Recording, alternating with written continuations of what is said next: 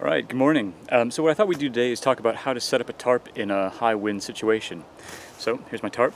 Let's get started.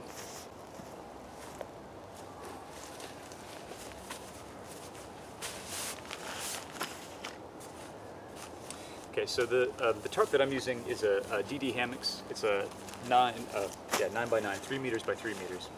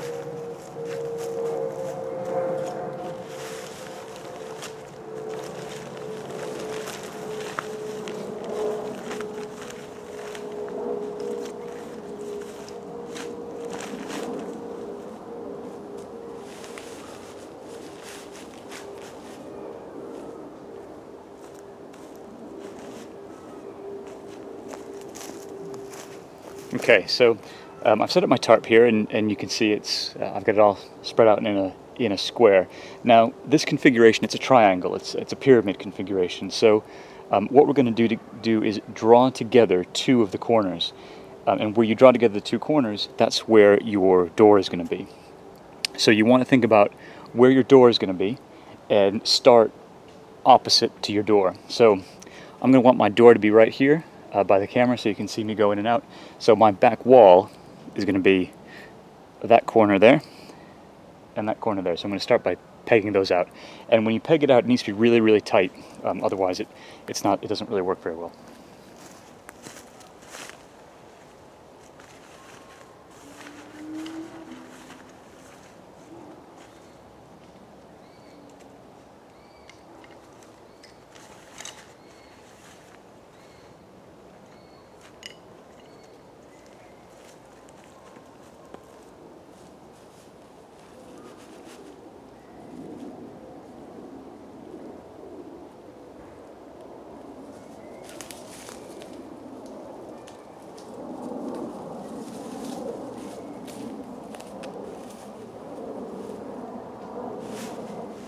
Okay, so I'm, going to pull this as tight as I possibly can.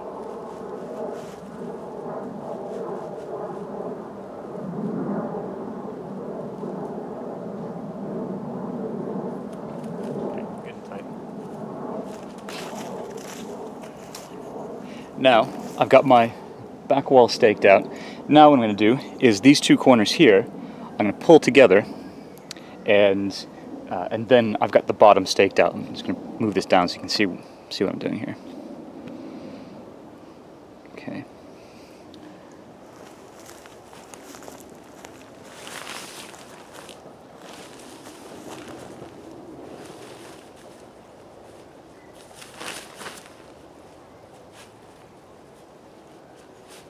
Hammer that in. A trick is um, when you're uh, when you're putting these stakes in, get your loops right down low to the ground, like almost on the tip, tip of the spike, or on the tip of the, the peg. And uh, if you do that, it stays tight. If you bring them up higher on the, the tent peg here and try and hammer it in, it's going to loosen up. So keep them right down low, and that keeps it tight all the way down.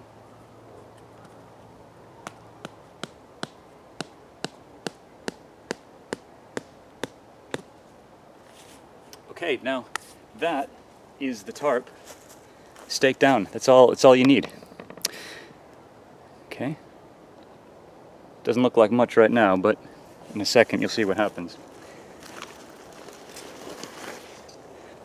Now you need some way to bring the tarp up. So um, you could tie it up. There, there are loops in the center. You could you could suspend it uh, from a from a branch or something. But again, we're thinking of a scenario if we're out on Dartmoor, we're at a uh, in a field. So one thing I, I almost always carry with me is a walking stick, and it's got a nice smooth top. You could do this with a with a regular stick, but this is going to be right against the tarp, so you want to make sure it's smooth. It's not going to puncture a hole.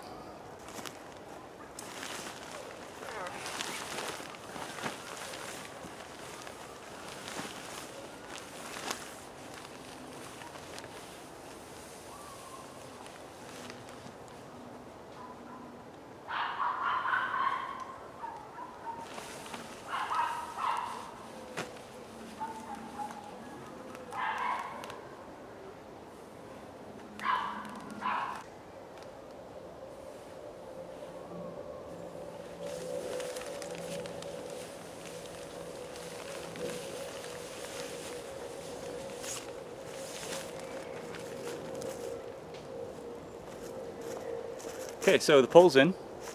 There you have it. It's a it's a tripod configuration, and to get in, it's this flap right here, which you can see the, it's coming down right there, across right there. That's that's the uh, the corner of the tent, and all you do is you just lift that up, and you can walk right inside. And what's nice, of course, is when you're inside or when you're closing it for the day, it folds down, and so you've got a complete seal. There's no way water is going to get inside the tent.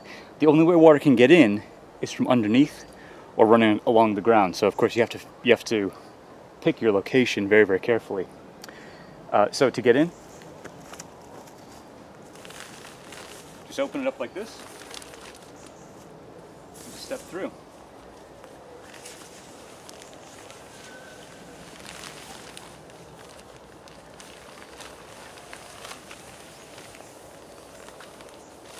And once you're in, all you do is you just flip this flap over, and then it's all sealed up.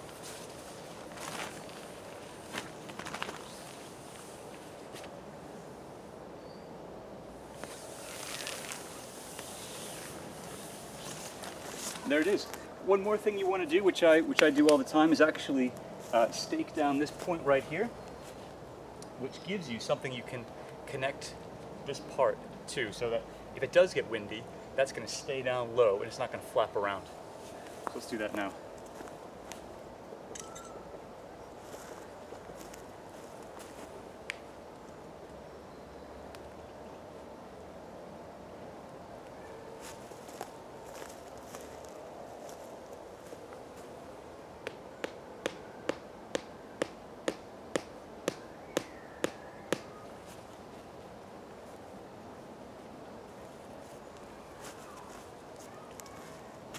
Okay, so we've got that staked down. Now this is what I do when I'm inside to, um, to keep it all tightened up. Um, sometimes when I'm camping, I'll actually have a little uh, mini carabiner, which I use to clip uh, that together, but uh, right now I'm just going to hook it over the, uh, the peg, and you'll see how you can do that from the inside. It's, it's really quite easy.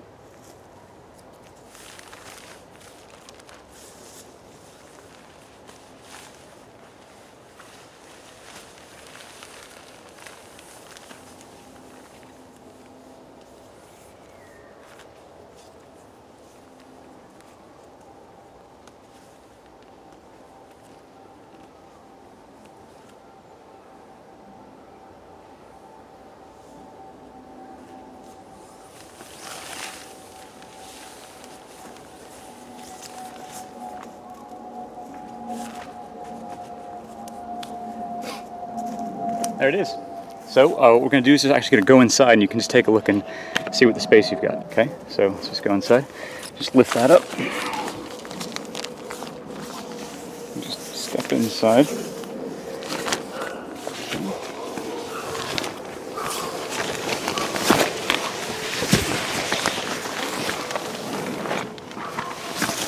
Okay. So here we are inside the tent. See how I've I've just put that right at the center at the top. You can see how it's, see, see the three sides.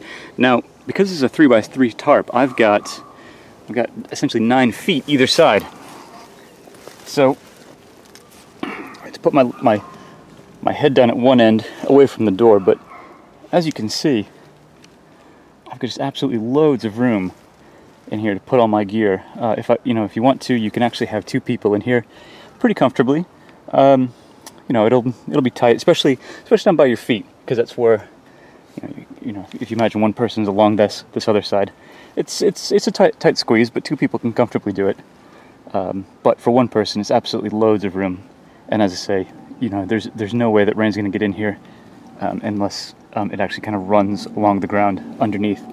Which is again the, the other thing you want to think about is um, you can see where I'm, I'm sleeping here. I've got the pole on one side and I've got the side of the, the tent here. Now you can stake that down, I'm a little bit closer to the ground, but um, one thing you've got to bear in mind is if you're, uh, while you're sleeping, you don't want your sleeping bag to kick out underneath because of course then it would, it would get wet. So a bivy bag is a good idea, um, or uh, you know, stake, stake these down so that you're not going to accidentally push a corner of your sleeping bag outside the tarp. There it is. We'll just do one more glance around the whole thing. and uh, then that's that's a high wind situation tarp configuration done.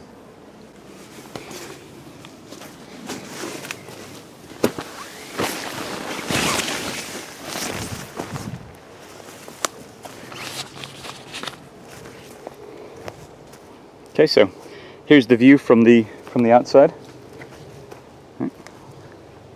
Okay, so there's the view from the outside. There's your tarp. Completely enclosed.